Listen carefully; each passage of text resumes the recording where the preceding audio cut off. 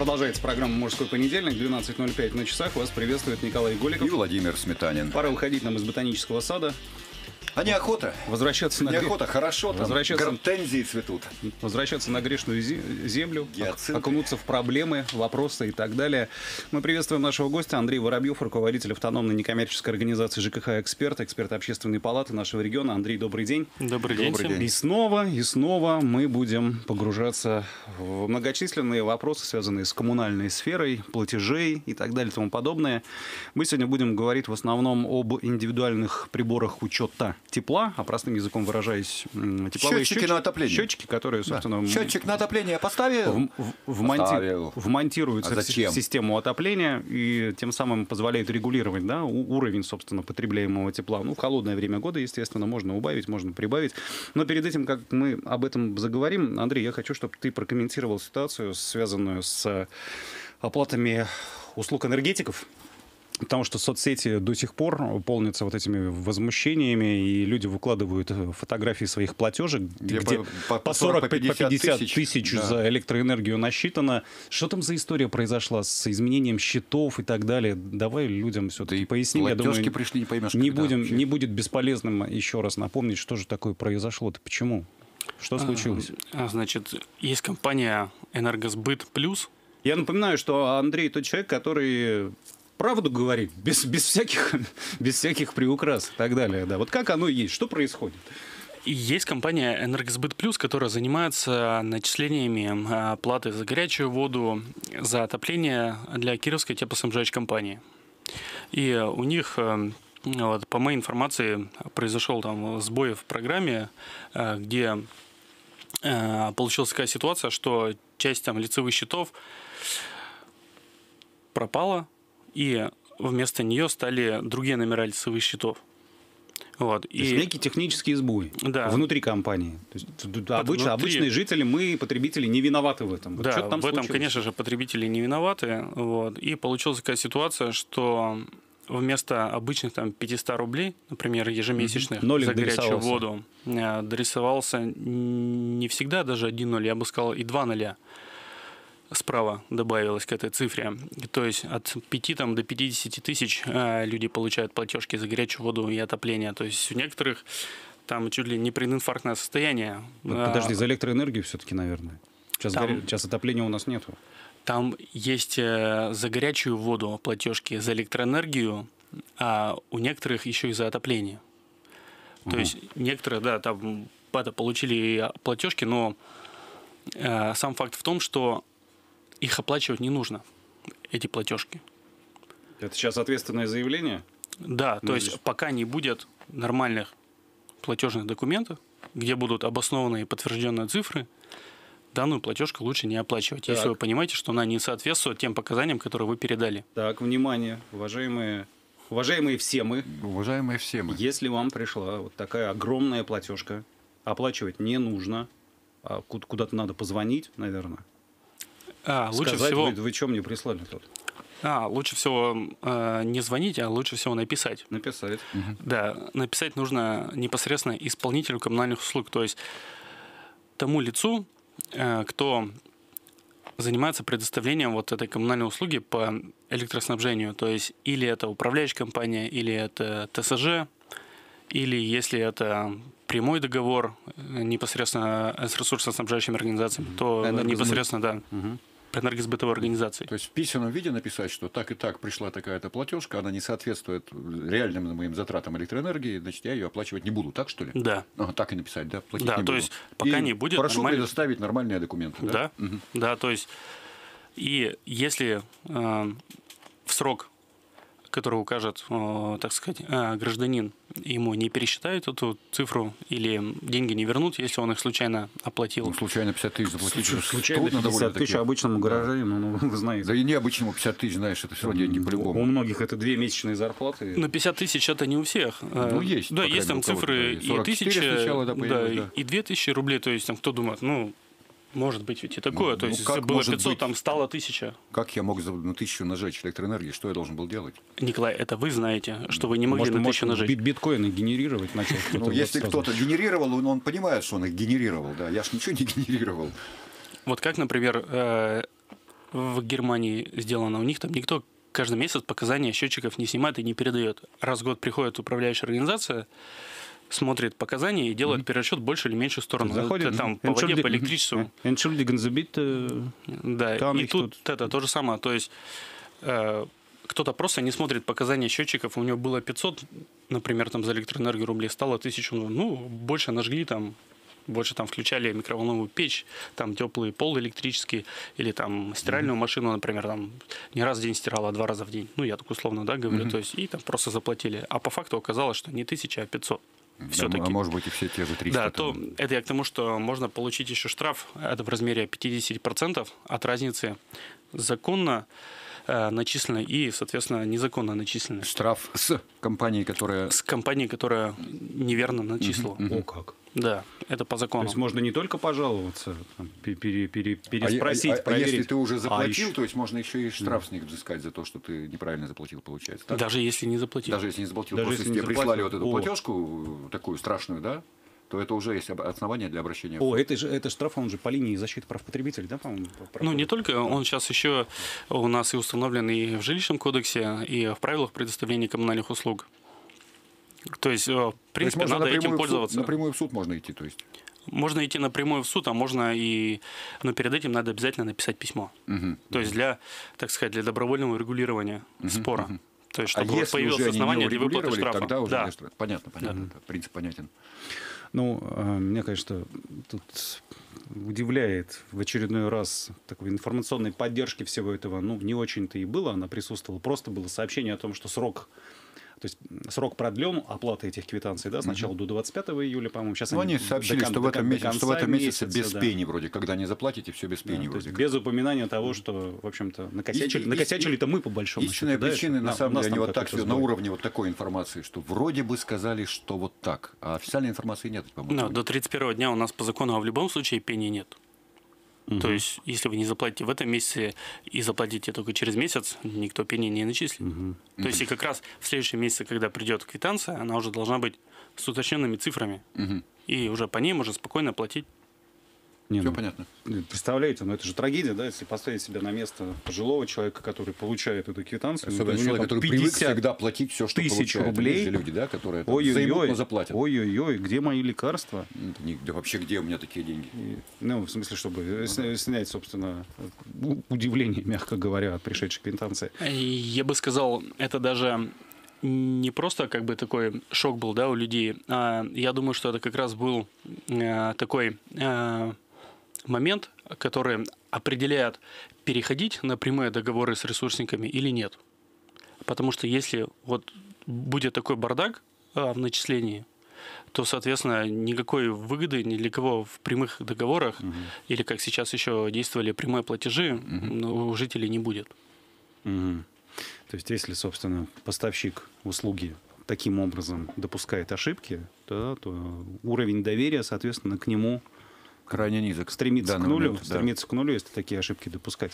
И а так там, никаких а там известно, нет... экономических стимулов нету для перехода на прямые договоры для жителей, так как появляются Это пока только задекларировано, что, что мы можем, да, президент Путин да. не так давно подписал соответствующий указ. А там неизвестно, это человеческий фактор был, или просто техника что-то вот с ней случилось. Так это не имеет значения. Это в любом случае должен быть ответственный факт, человек, факт есть факт, который да? отвечает за работу этой программы. Если эта программа неправильно сработала, этот человек должен понести ответственность. Угу. Как минимум э, какую-то финансовую. Угу. Так, Андрей, тут главное даже не то, что должен, мы должны знать, что это произошло, что произошло, кто понес ответственность. И что в дальнейшем этого не будет, условно да. говоря. То есть мы этой информации не имеем, от этого слухов-то сколько всяких. Итак, до перерыва, на который мы скоро уйдем, еще раз. Вот эти огромные суммы, если пришли ни с того, ни с сего, Андрей Воробьев рекомендует не оплачивать, ни в коем разе, да, писать официальное письмо на поставщика услуги. На поставщика услуги и ждать ответ. Да, угу. да. Совершенно верно, потому что никаких пений все равно до 31 дня не будет. Угу. Хорошо, мы сейчас сделаем небольшую паузу и э, продолжим нашу беседу. Андрей Воробьев, руководитель автономной некоммерческой организации ЖКХ «Эксперт», эксперт региональной общественной палаты. Итак, переходим к нашей основной теме. СМИ уже сообщили о том, что Конституционный суд закрепил право жильцов платить за отопление по индивидуальным счетчикам или приборам учета, даже если соседи демонтировали свои приборы. Вот такой прецедент создан. Поводом было обращение одного из жителей Подмосковья. Ну, это все можно прочитать это в свободном да, доступе, да, да, да. Есть везде. который заехал в дом, где были индивидуальные приборы учета тепла Потом соседи их демонтировали, Потом а он их оставил. демонтировали, да. он оставил и в конце концов доказал, что я могу и имею право по этим индивидуальным приборам платить, а общедомовые показатели мне до фени. Я хочу немножко да. прервать нашу беседу, просто напомнить, что у нас есть опрос на сайте, да, вот на эту тему поставить в своей квартире индивидуальный счетчик на отопление. И три варианта ответа. Готов, буду знать, что плачу только за себя. Второй вариант. Надо узнать, во что обойдется установка. Третий. Не готов, я и сейчас плачу немного. Что у нас там, народ, как к этому Смотрю относится? в нашей группе ВКонтакте, результаты проголосовало пока немного человек, несколько десятков. 52% почти готов, буду знать, что плачу только за себя. Ну и с не очень большим отрывом на втором месте 42% надо узнать цену вопроса-то, собственно. Так, давайте подробно разбираться. разбираться. Имеем мы право ставить индивидуальный учет прибора? Прибора, прибор, приборы учета. Прибор, прибор учета, прибор учета. Да, тепла. Имеем право? А, право вы имели, и оно никуда не пропадало. То Имеем. Есть поставить его можно в любой момент, всегда без согласования, без проекта, без технических условий, без специализированной организации. То есть, То есть звоним в свою управляющую компанию или куда там? Так, перекройте. Никуда... Так, перек... Нет, нет, нет, чисто технический это вопрос. Пожалуйста, слейте воду с системы, я тут хочу установить приборы. Все. Ну, там Слили, немножко, поставил. конечно, по- по-другому. Там по-другому? Пишется, да, там пишется заявление о том, что такого-то числа, угу. такого-то месяца, месяца в такое-то время я планирую осуществить установку индивидуального прибора учета на отопление. Угу. Или, по-простому говоря, теплосчетчик. Угу. А, значит, жду вас в указанное время, прилагая копию паспорта на счетчик, копию свидетельства о поверке, что он, соответственно, пригоден для коммерческого учета. Угу указывайте в заявлении свои паспортные данные, там, показания изначальные счетчика, дату поверки, заводской его номер. И, соответственно, если управляющая компания или там ТСЖ не приходит в установленную дату и с вами не согласовывает другой срок, вы без нее самостоятельно угу. ставите. И с первого дня следующего месяца, если опять же управляющая компания не составит акт ввода в эксплуатацию, данный счетчик Считается введенным. Считается введенным. Но это пока в отношении только счетчиков холодной воды, электроэнергии и так далее. Угу. А по отоплению? ну, вот, пока не относится. Да, по отоплению э, порядок ввода точно такой же. Угу. Счетчика просто вопрос, э, можно ли будет по нему рассчитываться. Угу. То есть пока Конституционный суд он э, ограничил ограничил дома, где можно осуществлять вот эти расчеты по индивидуальному счетчику, если не во всех помещениях они uh-huh. установлены. Uh-huh. Потому что вот как ситуации вот у Сергея а, Деменца. Да, Это как раз-таки вот герой, который, собственно, дошел до Конституционного суда, да. Да, там-то у него соседи э, посчитали что-то такое рядом с батареей установлено, оно нам мешает закрыть и сделать э, То есть они даже не поняли, что это какой-то учет, да. да. То есть мне, да. мне это мешает шкафчик задвинуть, вот дай-ка я его. Да, ну, если она некрасивая, надо там фальш-панелью закрыть, да? Да, мне это мешает, или мы вообще тут батареи срежем, сделаем теплый пол, там что-нибудь еще, или там выведем там на балкон, как у нас очень многие незаконно делают э, батареи, вот. И поэтому они их просто демонтировали. Даже не то, чтобы они за ними не следили, не проверяли, а просто их демонтировали. А, сказать, да, нам не надо. Не надо. Да что, какая ерунда. Вот. И, соответственно, он как э, добропорядочный э, гражданин все и там платил по счетчику, его поверял. Вот, а тут ему управляющая компания сказала, да нет, тут смотри-ка у тебя соседи-то демонтировали счетчики, соответственно, давай ты будешь тогда рассчитываться на основании общедомовых, общедомовых, общедомового да. Да, прибора учета а пропорциональной своей площади. Он говорит, так как же так? У меня же есть свой счетчик. Вот. И он пошел в суд, а конкретно вот он пошел в Пушкинский городской суд Московской области, э, где он просил суд обязать управляющую компанию осуществить перерасчет, угу. чтобы она ему перерасчитал оплату за отопление именно по счетчику. И он предоставил, соответственно, данные с этих да. с индивидуальных да, с индивидуального счетчика. Ему суд отказал в удовлетворении требований. Он потом подал в Московский областной суд. Апелляционную жалобу там мы тоже отказали. Потом он э, кассационную подал жалобу. Ему определением там Московского областного суда тоже отказали. Ну, что вы понимали, он это все делал не просто так. Он уже изначально хотел подавать жалобу в Конституционный суд. Э, Просто ему формально все инстанции ему нужно было пройти. Ему надо было, да, да пройти, что, чтобы решение Потому что в КС, в КС сразу так не обратишься. Да, да, так просто туда обратиться нельзя. Вот. И потом он еще э, параллельно обращался еще в Верховный суд, чтобы признать вот те пункты правил э, предоставления коммунальных услуг, на основании которых осуществляются такие расчеты за отопление на основании индивидуального прибора учета, э, не действующими. Там ему тоже Верховный суд отказал и в апелляционной станции тоже, и в передаче там в президиума Верховного суда. Вот. И, соответственно, он, когда все эти документы собрал, он же через своего адвоката подал это заявление в Конституционный суд. И тут у него срослось. Да, тут у него все получилось. Там, конечно, очень э, было, на мой взгляд, интересная мотивировка Конституционного суда, потому что она была связана не только с, э, с так сказать, э, с отоплением, с предоставлением коммунальных услуг, она была завязана на стратегию Министерства строительства ЖКХ о том, что у нас в планах в России э, надо серьезно заниматься энергосбережением, угу. что вот каждая единица тепла, которая экономится, она влияет на экологию. Угу.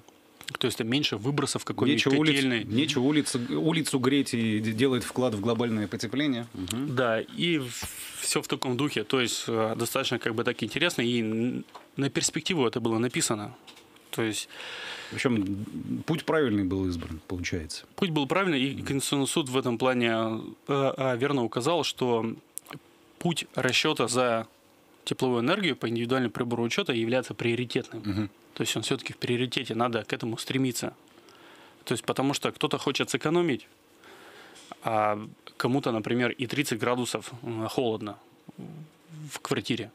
То есть, соответственно, кому 30 градусов а, плюс это холодно в квартире, пусть ну, платит от, больше. Ну, угу. открывай побольше задвижечку, пусть у тебя лучше Нет, Так и, соответственно, ты плати больше. Если ты ну, тепло да. любишь, за него надо платить. А Андрей, холоднолюбивый. Вот да, сейчас практическую надо. плоскость. Вот, вот это решение Конституционного суда, что оно значит для каждого из нас? Что мы сейчас, на что мы сейчас имеем право? Ну, значит, то, что с 10 июля э, в тех домах, которые были введены в эксплуатацию, в том числе после капитального ремонта, эм, и где были установлены во всех жилых и нежилых помещениях индивидуальные приборы учета, то есть угу. теплосчетчики на то квартиры. это относится к тем домам, где они были установлены изначально. Изначально. Да. Угу. То это э, обычно новые дома. Да, да. после Новые 2012 после года, да. по идее, вообще все дома, это по закону должны быть оборудованы индивидуальными приборами учета. Угу. Хотя вот у меня дом 2012 года, 25 сентября сдавался. А там нету, да? У нас там их нет. Вот. Но это там связано с другими причинами. Хорошо, вот. возвращаемся. Да. Э, соответственно, те собственники квартир, у которых стоят индивидуальные приборы учета, имеют право по ним рассчитываться – даже если у соседей э, эти счетчики были демонтированы или mm-hmm. каким-то образом стали а, непригодны к коммерческому учету. В общем, все, что происходит за стенами твоей да. квартиры, это тебя волновать не должно. У тебя счетчики работают, у тебя счетчики по ним есть, да. ты снимаешь mm-hmm. показания и раз в месяц, собственно, либо идешь лично оплачивать, либо там автоплатеж настроен и так далее. Вот все. А у кого этот счетчик вышел из строя или, например, не поверен, он будет оплачивать по нормативу. Mm-hmm. Давайте еще поясним разницу вот тут в платежах, она насколько существенная, когда ты платишь. Ну, если все нормально, если там система вся отопления настроена, все хорошо, намного выгоднее получается по индивидуальным приборам учета платить. Если все нормально, все настроено, то по индивидуальному прибору учета платить выгоднее, так как общедомовые нужды в показания индивидуального прибора учета не входят. А в норматив там уже как бы все включено. То есть ты платишь и за свою квартиру, и за часть так сказать, место общего пользования. Ну, за личностную площадку там ну, так далее. Да, подъезд, там, да, то есть говоря, там да. уже как бы все рассчитано. А, вот поэтому в любом случае выгоднее. А если еще а, подойти с умом и поставить к индивидуальному прибору учета еще терморегулятор, то есть специальный кран, который угу. открывает и закрывает, то есть ну, чтобы, можно... вес, чтобы весной Африки не было, да, и чтобы наоборот да, ос- то есть осенью морозы. С это весенний-осенний период можно значительно экономить. Угу. если установить еще терморегулятор, Ну, который стоит 500 рублей. Но не везде его можно, да, поставить? Нет, а, термор- а, терморегулятор можно везде установить. Везде? Да, он, он ставится на, это, а, на трубу, на входе в батарею. Но он же регулирует подачу, да? Да, да, совершенно верно. А ты себе ограничил, а как соседям? Им же тоже меньше пойдет в итоге, нет? Там, если я себе ограничил, соседям как раз пойдет больше. А, больше. Да. Ну, ладно. Извините, я домохозяина включил сейчас. Я понимаю, нет, ну ты правильно вовремя включил. Вот что оказывается. А в домах, где в 90% по всей стране э, установлена в системе отопления вертикальная разводка, Мгм. то есть когда стояки у нас идут и в спальне, Мгм. и в комнате, и на кухне батареи, там лучше всего устанавливать так называемый распределитель тепла. Это такие небольшие устройства, такие коробочка, там 5 на 10 квадратных сантиметров, э, которые устанавливаются непосредственно на батарею, То есть монтируется, Да. вмонтируется опять же в систему так, между, отопления. между ребер, я бы так сказал, даже батареи, неважно, там биметаллический радиатор или чугунный, он там пломбируется, вот, и раз в несколько минут он снимает показания температуру самой батареи, меряет, и меряет температуру воздуха, которая рядом с батареей. Мгм. И эти данные накапливают, и э, потом передает уже там, соответственно, на пульт на определенно, где эти все показания систематизируются и считаются, и определяется доля, кто сколько тепла потребил. То есть, соответственно, если у вас большая батарея... Андрей еще- сейчас внимательно смотрит на нашу батарею в студии. Да. да. Просто так легче. Представляешь ее себе, да? Если батарея большая, там, соответственно, больше коэффициент. Мгм. То есть потом эти показания этого распределителя умножаются на радиаторный еще коэффициент. Мгм. Ну, площадь, площадь просто Да, больше, потому что больше теплоотдачи. площадь. Вот. И получается, что по сути эффект тот же самый, как от теплосчетчика индивидуального. То есть так как мы не можем установить индивидуальные теплосчетчики в наших старых хрущевках, так как изначально они не были там предусмотрены, мы можем установить там распределители, установить терморегуляторы, то есть вот эти краны, да, специальные, и уже начинать экономить. То есть это стоит, вот чтобы вы просто Так, понимали, Для примера так Да. аккуратно назовем. один стоит? теплосчетчик индивидуальный в среднем стоит 10 тысяч рублей. Индивидуальный теплосчетчик. Мгм. Да. Один распределитель, Вот который Стоит- на батарею, да? да, вот который на батарее Мгм. вот такая коробочка, стоит полторы тысячи рублей. А терморегулятор стоит 500 рублей. То есть, если у вас три батареи, вам надо три терморегулятора, это полторы тысячи рублей, и а, а, три распределителя, то есть это 4 500. Итого То есть 6 тысяч. 6 тысяч вы платите там межповерхностный интервал 5-6 лет, то есть достаточно длительный срок, чтобы Да. к ним не прикасаться. Мгм. То есть они вот будут стоять и экономить. И, соответственно, уже экономить. В общем, И это окупится там за несколько лет, если правильно к этому подходить. Мгм. В общем, современные технологии нам позволяют действительно существенно экономить на коммунальных платежах. Все уже придумано, если Да, можно так все сказать. придумано. да, в том числе для старых вспомнил домов, где... про свой старый дом, где батареи срыты в панель, и к ним пробраться невозможно. То есть Это да. это, это уже клиника. Ну, в какое время строили это все? Когда уже 70-е, не 70-е задумывались о годы, том, что когда когда-то, думали, да. видимо, коммунальные Зато платежи таким непосильным бременем трава. на людей По лягут. сути, эти дома отапливают улицу, потому Да, что Там батарея... вокруг дома всегда трава. Да. Да, вот такая полоска вот между сугробом и домом, там всегда травка зеленая. И вот как раз по капитальному-то ремонту, после сдачи домов в эксплуатацию, где ремонтируется система отопления, вот надо как раз устанавливать такие распределители. Чтобы капитальный ремонт был не просто, как я уже неоднократно повторял, все-таки надо, надо или есть на- возможность такая? Такая возможность есть. Да, Если есть- жители на своем собрании скажут, да, что мы хотим вот эту штуку поставить, Включить как бы в, в план капремонта, да? Да. Что вот фонд капремонта он не может отказать. Он не если, может если отказать. жители хотят. Если это еще входит э, в предельную стоимость работ по капитальному ремонту системы отопления, То то, даже не дополнительно да? не надо скидываться. Если это переходит да, за предел, то там, ну, немножко там надо добавить. Это изначально было? Или это это, или- или это вот, в этом Андрей. году ведь, по-моему, включили в программу Андрей, капремонта такой м, возможность? Получается, смотрите, говорит, там с Нет, в небольшой этом году квартиры... автоматизацию А, включили. Шесть- автоматизацию, 6 тысяч да. где-то на небольшую квартиру, ну 10 может на квартиру побольше, где-то 6 тысяч, 10 тысяч с квартиры, то в принципе сумма-то ведь не такая окаянная. Не такая окаянная, если еще с учетом того, что в районах области у нас тариф за тепловую энергию доходит до 7 тысяч да, рублей за очень высокий, гигакалорию. да, да. Это я напомню, в Кирове 1800. А там до 7 тысяч. То есть это... То, то, то там такого рода суммы, они меньше, собственно, Ну, конечно. с половиной раза больше. У нас же в райцентрах олигархи одни живут, 7 тысяч, конечно. А окупаемость будет еще меньше. Еще, еще быстрее срок окупаемости. Андрей Воробьев, руководитель автономной некоммерческой организации ЖКХ «Эксперт». У нас уже по разным каналам идут вопросы от слушателей, в том числе в группе ВКонтакте. Мы их зададим обязательно, да? Ну, в общем и целом мы с этой темой завершили, да? Выяснили, В что общем, мы имеем право. Понятно, имеем право, да. Послушали примеры, что делать, так что, пожалуйста, можете воспринимать как руководство к действию. Реклама небольшая, скоро продолжим нашу беседу. Напоминаю, что о конкретном решении Конституционного суда по конкретному гражданину мы сегодня сосредоточились, оттолкнулись от этой темы, но все-таки еще не договорили, да? Андрей Воробьев, руководитель автономной некоммерческой организации ЖКХ «Эксперт». Собственно, что дальше там? КС должен сейчас или имеет право на правительство выйти с чем? И он уже вышел, да? Да, он уже во Что для всей страны это ж, да, значит в масштабах всего государства? Да, так как есть такой пробел э, в правовом регулировании, то Конституционный суд дал ясно понять, что Федеральному собранию, то есть это у нас Госдума и Совет Федерации, а также правительству Российской Федерации, необходимо предусмотреть изменения, которые отрегулируют вот этот вот пробел в законодательстве, и в течение шести месяцев должны внести соответствующие изменения либо в жилищный кодекс, либо в правила предоставления коммунальных услуг, либо туда и туда.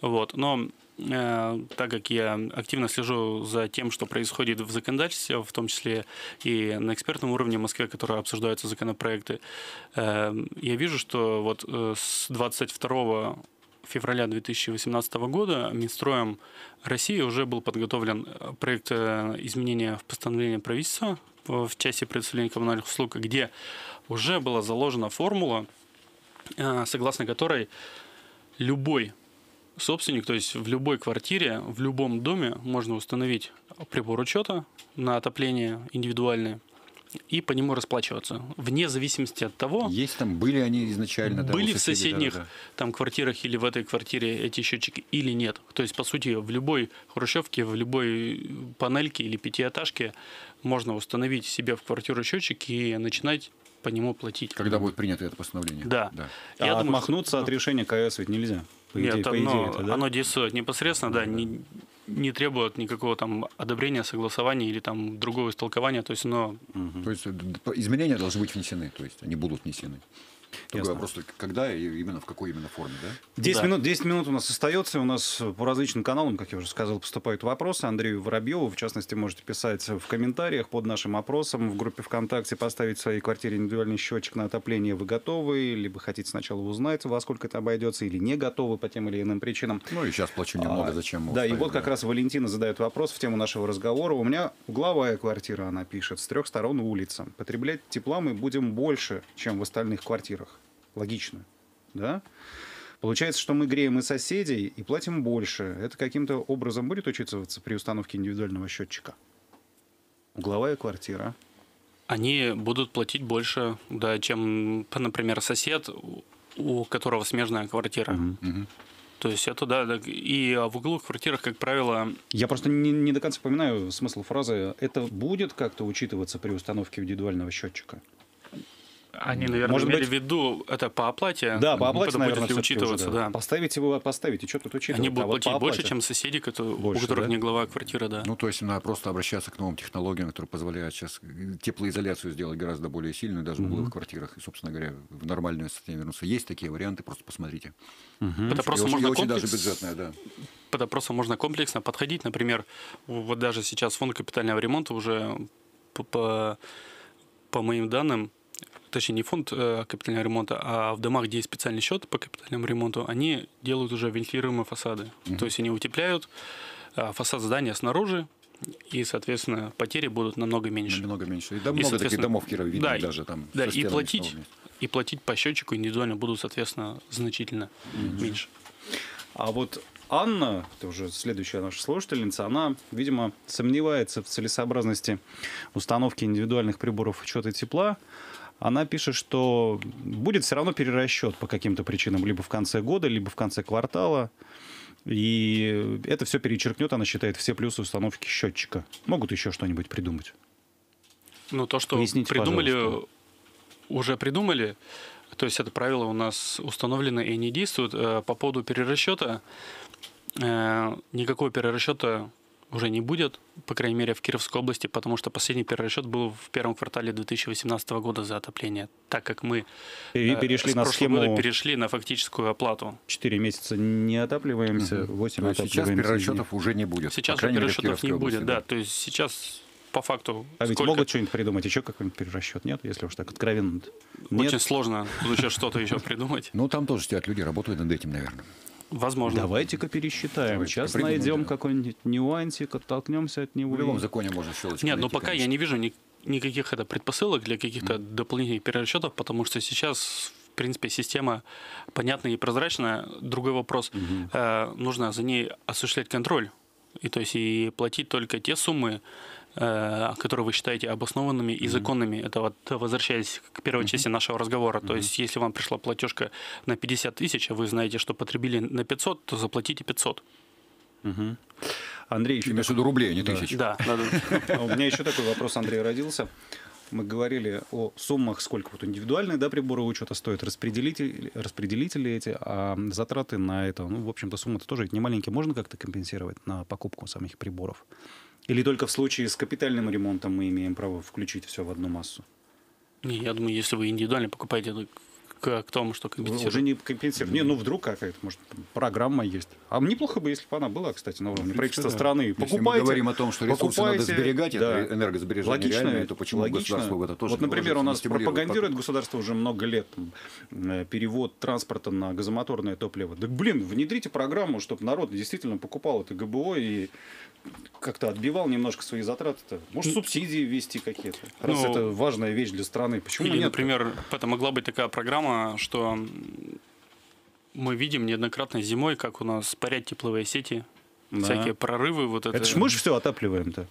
Зеленую траву, зеленую траву а? мы видим. Оплачиваем мы все. А что сказал? Это я сказал, отапливаем. А, ну да. Мы это оплачиваем, они отапливают, да. а мы оплачиваем. Да, мы да. оплачиваем, простите, да. Это я к чему? Вот это, та зеленая трава зимой, которую мы видим, это место снега. Угу. Это как раз те тепловые потери, которые могли быть это, э, э, нивелированы установкой индивидуального теплового пункта в доме. То есть вместо центрального теплового пункта на 5 домов можно было бы за счет теплоснабжающей организации установить индивидуальные пункты, тем самым сократив издержки, затраты, которые в теплом пункте, вот эти высокоэнергоемкие насосы, оборудование с большими потерями, тепловые потери в сетях и так mm-hmm. далее. То есть можно было бы вот такой механизм даже разработать. Угу.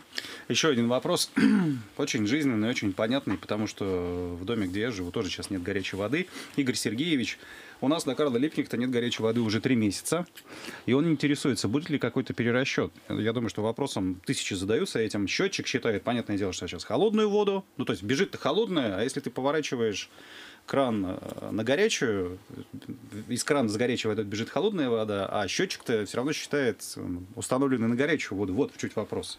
Вот как возьмут потом за это? Ну вот. Я думаю, что вопрос простой, но очень распространенный, конечно. Да. Э, ну тут понятно, что надо... Вот, вот, вот и думаешь, простите, да, вот чтобы меня сейчас не насчитали за... Э, за бежит-то холодно, они насчитали как за горячую, я не буду поворачивать да, кран в эту сторону. Ну вот я неоднократно рассказывал о своем успешном опыте. Я думаю, будет не лишним, если я еще раз повторю, Давай. что э, я установил индивидуальный прибор учета на горячую воду с термодатчиком, который считает всю горячую воду с температурой 40, 40 э, градусов и ниже, как за холодную. Угу потому что в законодательстве у нас прописано, если температура То есть ниже 40 градусов... счетчик на горячую воду, да? Нет, он не отключается. А он? он считает всю воду, которая через него прошла, он, он ее просто делит на две части. Та, а. которая выше 40 градусов. Это горячая. Это горячая. Это, и ниже 40 градусов. Это электронная какая-то штукенция, да? Да. Она, да. она, она, она, она намного дороже.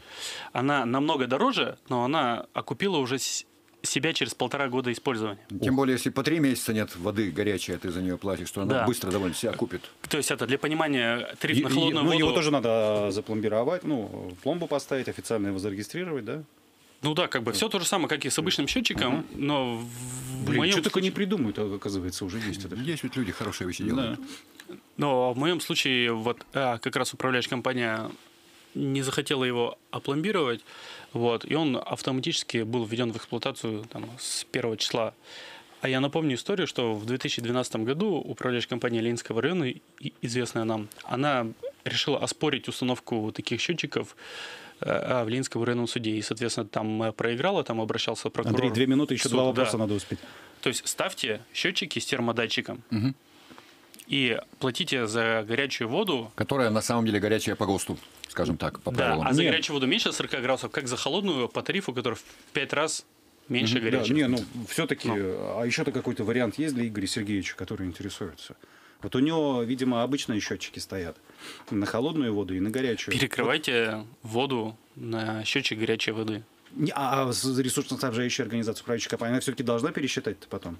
Если он пользуется этими показаниями счетчиков, то как она его пересчитает? А, не пересчитает? Никак. А как она пересчитает? Счетчик накрутил. Да? Ну, Счетчик на самом деле да. перекрыл воду, собственно говоря, у тебя. Надо перекрыть просто ее, воду на счетчик. Ух ты, какая штука-то получается интересная. И, и лучше в наших российских реалиях устанавливать водонагреватель. Кто еще не установил?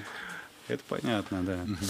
Так, минута остается. Еще есть вопрос. Надежда тоже вот прям конкретная задача. В каждой комнате свой стояк на батарее. Ясно. Сколько надо счетчиков, спрашивает она. Как учитывать тепло, непонятно. Ведь еще есть соседи сверху и снизу. Вот, это очень правильный вопрос. Да.